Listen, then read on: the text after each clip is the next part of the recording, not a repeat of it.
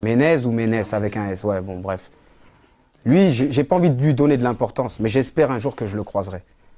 Parce que lui, je pense qu'il a parlé de ma famille. On m'a dit un jour qu'il a dit, soi-disant, Evra serait prêt à, vendre sa mère pour revenir en équipe de France. Donc lui, lui, j'espère le croiser.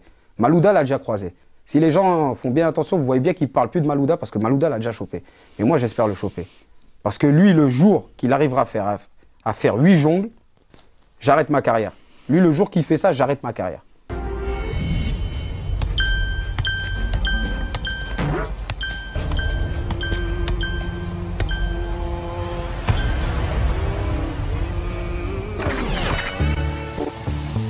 bon né? là